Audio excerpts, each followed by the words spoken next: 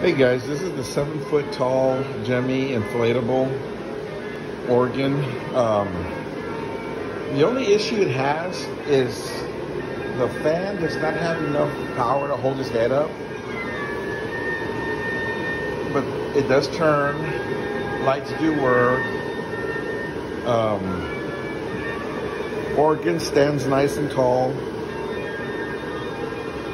without issues as you can see.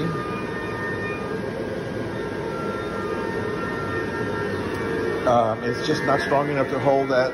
There's a little motor in here that turns his head. Um, other than that, it's in excellent condition, guys.